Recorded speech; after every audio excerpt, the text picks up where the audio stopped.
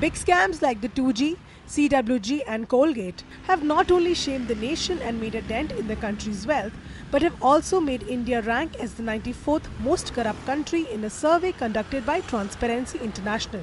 The Corruption Perceptions Index or CPI ranks countries and territories based on how corrupt their public sector is perceived to be. And India has moved a place up from 95 in 2012.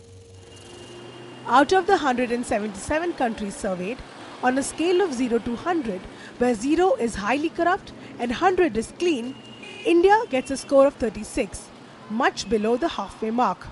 Worldwide, the top 5 least corrupt countries are Denmark, New Zealand, Finland, Sweden, and Norway.